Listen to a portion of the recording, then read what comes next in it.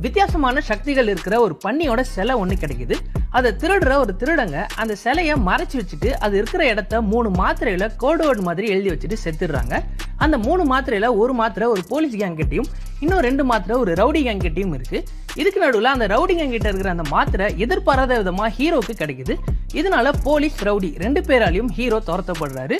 இதனால ஹீரோ சந்திக்கிற பிரச்சனைகள் என்ன? அந்த சிலையை அவங்க கண்டுபிடிச்சாங்களா இல்லையான்னு சொல்ற படம் தாங்க பன்றிக்கு நன்றி சொல்லி. இது ஒரு பிளாக் காமெடி கிரைம் த்ரில்லர் படங்க. இந்த படத்தோட பிஜிஎம் சினிமோகிராஃபி அண்ட் எடிட்டிங் மிகப்பெரிய பக்கபலமா இருக்கும்னே சொல்லலாம். படத்துக்கு கிரிட்டிக் சைட்லேருந்து நிறைய நெகட்டிவ் ரிவ்யூஸ் வந்தது. இந்த படத்துக்கு ஒரு ஃபால் பேக்கா இருந்ததுன்னே சொல்லாங்க. இருந்தாலும் ரிவ்யூஸை பார்க்காம கண்டிப்பா இந்த படத்தை பார்த்தீங்கன்னா நிச்சயமா உங்களுக்கு ரொம்பவே பிடிக்கும். அந்த அளவுக்கு ஒரு இன்ட்ரெஸ்டிங்கான கிரைம் த்ரில்லர் படம் தான் இந்த படம். இந்த படத்தோட சில பிளாக் காமெடிஸும் ரொம்பவே நல்லா ஒர்க் அவுட்டும் ஆகியிருக்கும். கண்டிப்பா பார்க்க வேண்டிய ஒரு என்டர்டைனிங்கான கிரிப்பிங்கான ஒரு பிளாக் காமெடி த்ரில்லர் படம். மறக்காம பாருங்க.